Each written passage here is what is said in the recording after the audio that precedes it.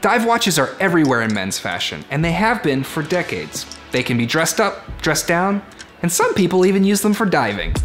Hey guys, Andrew from Primer Magazine here. Today I'm going to dive deep into the history of these fascinating watches, go over some key features that you should look for in a dive watch, and reveal our picks for the best affordable dive watches most of them under $250. I want to give a huge shout out to Primer's resident watch fanatic, Chris Scott, who has been a diver for over 20 years and has owned over two dozen dive watches. In the early 20th century, watchmakers were looking for ways to make their watches more waterproof. Rolex went as far as displaying the oyster models in fish bowls. In World War II, Rolex and Panerai made watches for frogmen and combat swimmers who needed accurate timepieces. But the invention of the aqualung in 1942 by Jacques Cousteau and Emile Gagnon changed everything.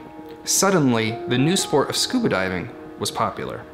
And more divers drove demand for more dive watches. But then in 1962, James Bond wore a Rolex Submariner in Dr. No.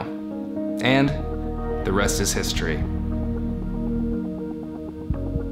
Dive watches have been known to withstand depths of up to 40,000 feet.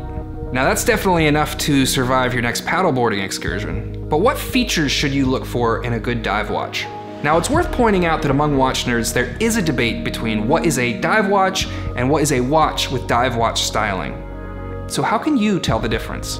A good place to start is the definition set by the International Standards Organization. Quote, a dive watch is designed to withstand diving in water as depths of at least 100 meters and possess a system to control the time. International Standards Organization listing 6425. Seems pretty straightforward, right? Here's the thing. Not every watch that presents itself as a dive watch has been certified by the ISO. If you're set on owning a certified dive watch, look for the word divers preceding the depth rating. This means it's been ISO certified. But just because a company hasn't submitted a watch for certification doesn't mean you can't use it for diving. Our watch expert Chris recommends paying attention to five key features. First, you want water resistance to at least 100 meters, or 300 feet. On a regular consumer watch, the crown, the little dial you turn, and the case back, the back of the watch, both pop out of place. Easy and convenient, but bad for water resistance. On a dive watch, both the crown and the case back thread into place like on a jelly jar, and they both contain a rubber gasket to prevent water penetration. For divers, it's crucial to be able to tell how long you've been underwater. For the rest of us, it's still kind of a cool feature.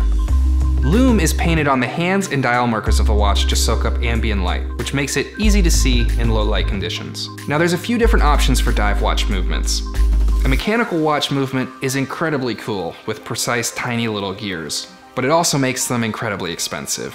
Solar or quartz movements help keep the cost down and still keep great time.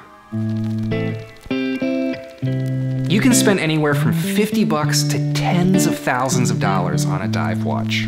But keeping with the primer ethos, I wanted to highlight our top picks for the best dive watches under $250 that combine both quality and style. When it comes to best bang for your buck, there are few that can compete with the Casio MDV 106. This quartz powered diver comes in at a hefty 45 millimeters, but its thin size lets it sit comfortably on even smaller wrists. It's rated to 200 meters and built to take a beating. Best of all, it's got the best lume at this price point. As dive watches have become less diver tools and more fashion accessories, a lot of brands have started making dive watch lookalikes. Gucci even makes a divey watch. Most fashion watches don't offer much in terms of water resistance, but the Nautica Portofino is a rare exception. It's a chunky Timex produced quartz dive watch with a very easy to turn bezel and a screw down back and crown. Chris reports he'd be fine to dive with this watch despite its meager 100 meter depth rating. But let's talk about the drawbacks. The 22 meter lugs can't be removed, which means you have to use a NATO style slip through strap. Also, the lume is garbage. For a quartz watch, the Nautica Portofino is priced a little high, but if you can find one on sale, it's a solid buy. Next up is a dive watch for actual diving. Our expert Chris has long advocated that the Seiko SKX 007 is the best actual diving watch under $250. It's rugged to the point of bulletproof, has an excellent bezel and lume, and features a solar movement that only needs to be serviced every eight years. Be aware that it runs a little big, but its thin case prevents it from being chunky. Ever since James Bond wore a Rolex Submariner with a tuxedo and Goldfinger, dive watches have been a part of men's fashion. But some dive watches dress up better than others. One of the most versatile is the Orient Ray, recently updated and dubbed the Orient Ray 2. This particular watch looks far more expensive than it actually is, and it's available in a few different color combinations. For the price, it's a solid all-around dive watch to use as an accent piece. I hope you didn't think we were done with the Bond trivia, because up next is the Omega Speedmaster Professional, aka the GoldenEye watch. This watch actually represents something really interesting in luxury dive watch development. To survive the flood of cheap quartz watches in the 1970s and 80s, a lot of Swiss watchmakers went upmarket with their products, and dive watches were no exception. What makes this watch really interesting though, is that it's still an entry-level luxury watch. But what keeps it affordable is that it still has a quartz movement. But quartz doesn't mean lack of quality. The 1538 movement is one of Omega's best. It has pro-level features like a quick set hour hand and helium release valve for commercial divers. The thinness of this watch makes it hard to believe it can survive nearly a thousand feet of pressure, and it's a great wearing watch. Be aware, however, does not come with a built-in laser.